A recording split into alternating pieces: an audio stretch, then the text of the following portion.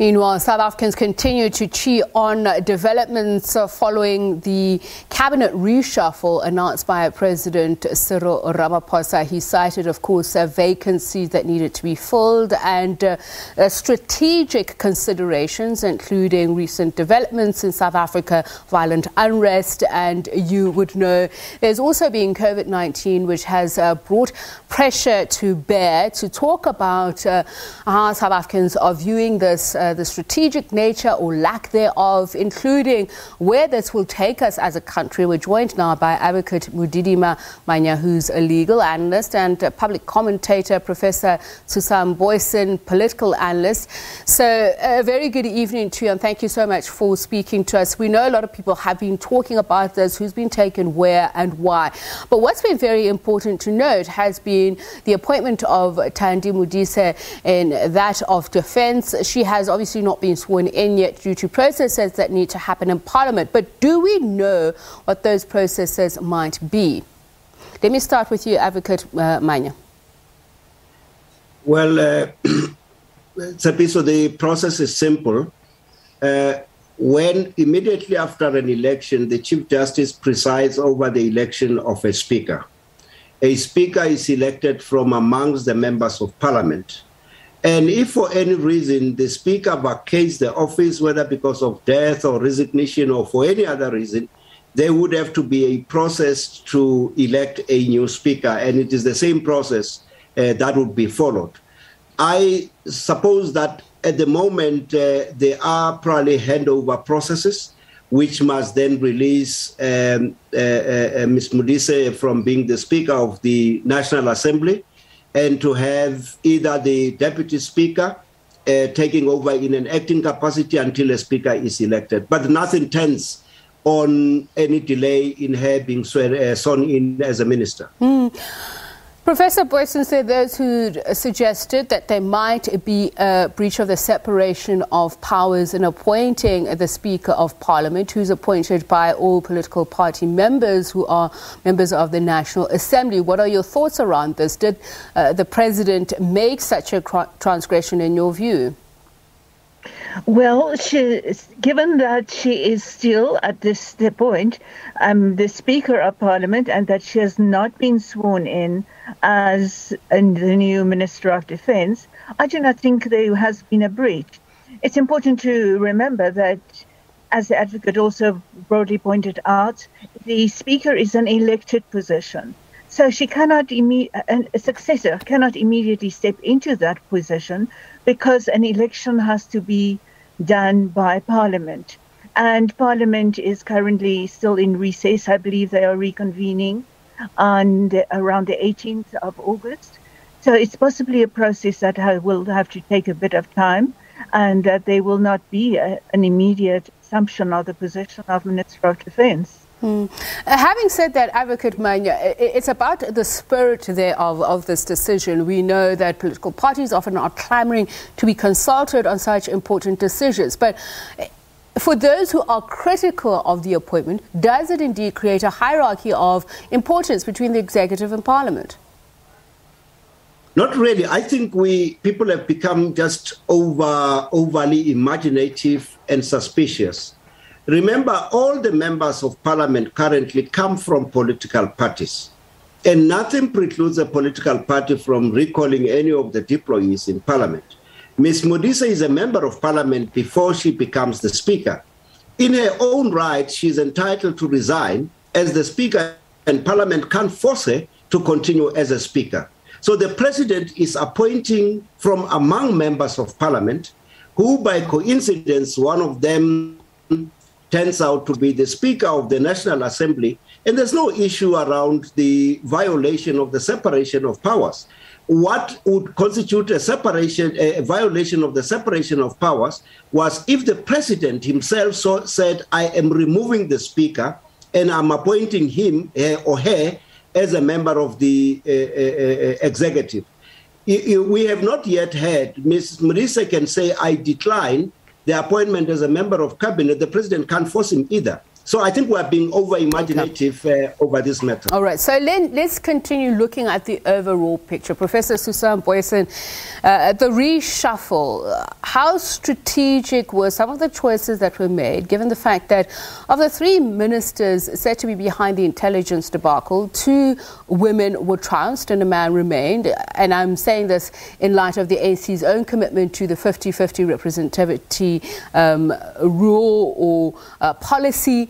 But there's also the fact that um, there are those who would have felt that if you are going to remove some ministers, why not move some deputy ministers up? Share your thoughts with us on. Yes, indeed.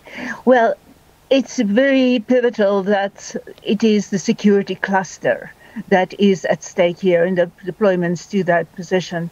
And given the turmoil that we've had in the country in the month of July, Eh, there is no messing around. There's no space to make additional mistakes, subsequent mistakes.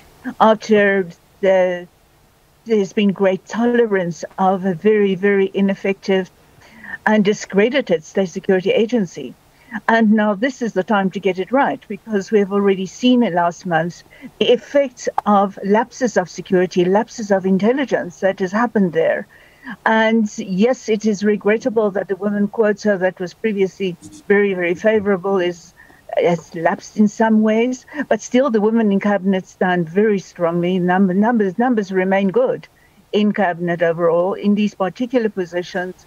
Wherever whichever person is possibly the best qualified should really get into that. We do not know whether the persons appointed obviously will be the best possible, but uh, we can at least hope the president, in the sense of assuming responsibility for the State Security Agency, which is now dissolved, and that function moved into the presidency, at least we can trust that that is in good hands and that some of the trusted lieutenants are there as either ministers or deputy ministers and that they will know exactly what their work entails and that there is no space for additional mm. mistakes well, because it's state security that is at stake here. All right. Advocate Mannya, uh, the, those who would characterize what has happened or what has forced the president's hand as being a, a revolt, if it is indeed a toss up between keeping the peace between factions and asserting your stranglehold on power, how do you gauge which constituencies you can afford to alienate and those which you must put uh, at the forefront?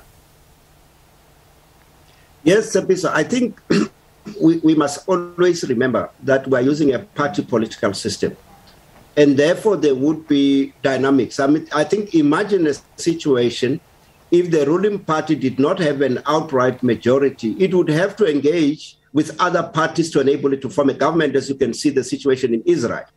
But that aside, the, the president has got certain legal and constitutional obligations. He's got a responsibility to protect us.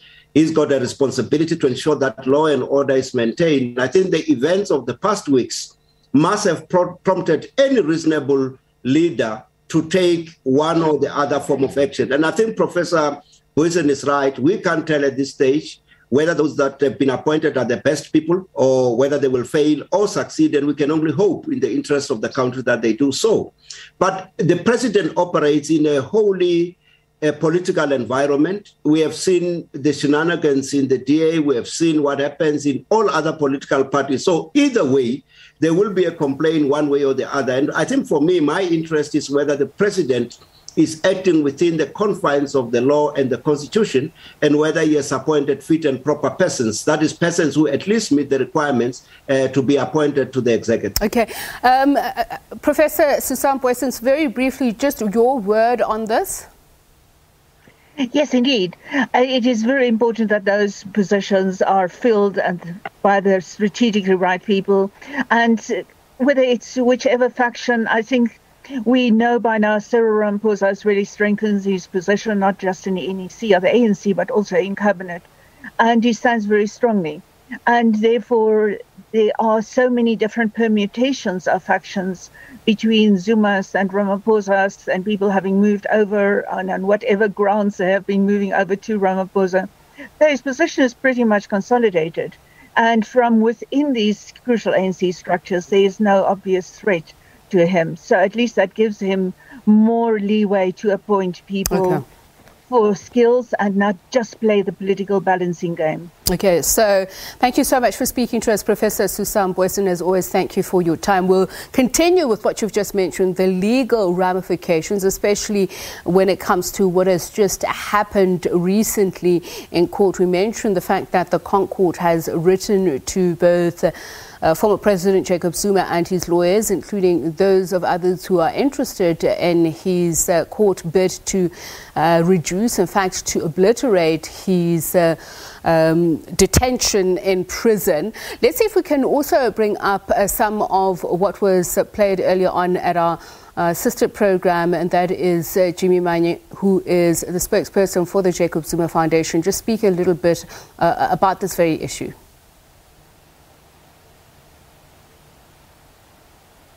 Okay, we'll see if we can get that uh, back on. So, Advocate uh, Manyi, I'd like to hear from you. The uh, Constitutional Court issuing that directive to the legal teams of the former president and uh, the other parties to make a submission, as I said, uh, addressing the international law and constitutional implications of his ongoing detention. What is the significance of this move at this moment? Well, Tshepiso, let me first uh, uh, indicate that the high courts generally would issue directives. Uh, we, as lawyers, we are required in any case to make written submissions called heads of argument uh, before a matter is heard, because part of our responsibility is to assist the court to identify what the legal issues are and to make a pronouncement. So there's nothing unusual with the Constitutional Court issuing a direction to be addressed on a matter which it has been uh, has been uh, canvassed as part of the uh, course of action in the matter of former President Zuma.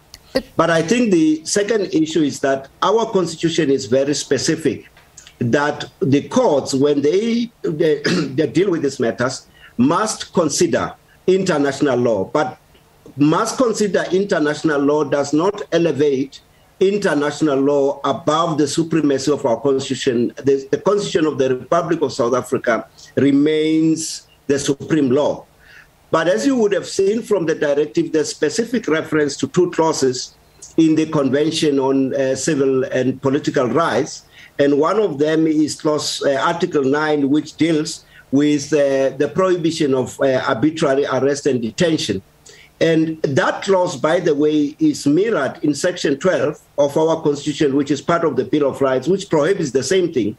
The same you'll find in Article 14, which deals with fair trial, which is mirrored in Section 34 of our Constitution in the Bill of Rights, which makes provision for access to courts and a fair trial. So, requesting the parties to make uh, submissions, in my view, does not necessarily by any means suggest that the Constitutional Court is feeling any guilt. I mm-hmm. think what the Constitutional Court is doing is to say somebody has approached us to say we ought to have applied Article 9 and Article 14. So let's hear the argument on Article 9 and Article 14. But as I say, Article 9 and Article 14 are respectively represented in Article 12 okay. and Article 34 of our Constitution. Advocate Mannya, allow me to jump in because uh, Professor Susan Booysen's mentioned earlier on the possible impact on the political landscape of some of these issues. And uh, I, am asking this particular question to see if one can lend itself to the other. For instance, uh, running on this ticket of the legal principles or lack thereof in terms of observing that.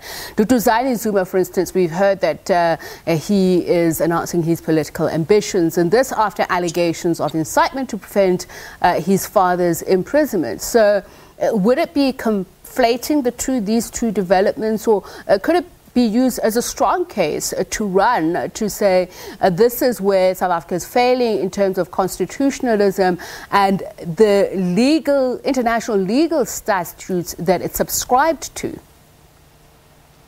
Well, let, let me give you three separate answers to address all the issues you raised. Firstly, uh, Mr. Zuma Jr. will have to meet the requirements of the ANC constitution to contest. I'm not sure whether he qualifies. I'm very doubtful.